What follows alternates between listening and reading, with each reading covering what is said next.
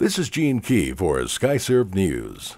A Texas man accused of attempting to sneak out of the country to join Al Qaeda has been convicted of trying to help the terrorist organization.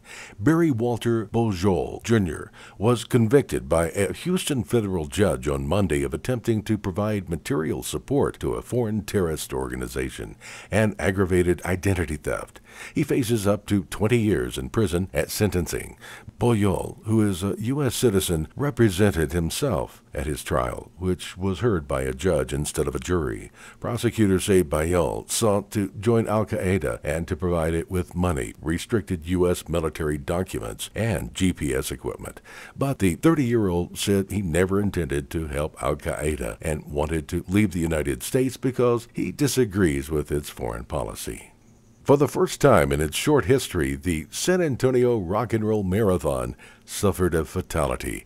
Event organizers confirmed late Sunday afternoon that 32 year old Jorge Fernandez of San Antonio died shortly after completing the half marathon. Fernandez fell to the ground after crossing the finish line.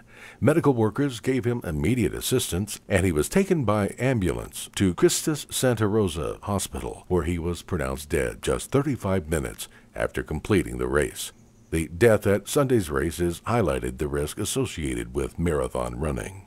There's a high trending new social event in Texas. From WFAA.com in Dallas, food was flying at Fair Park on Saturday.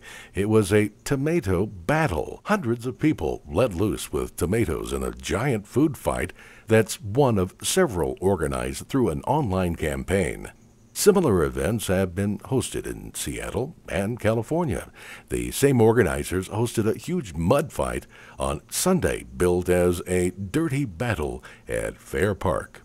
This is Gene Key for SkyServe News.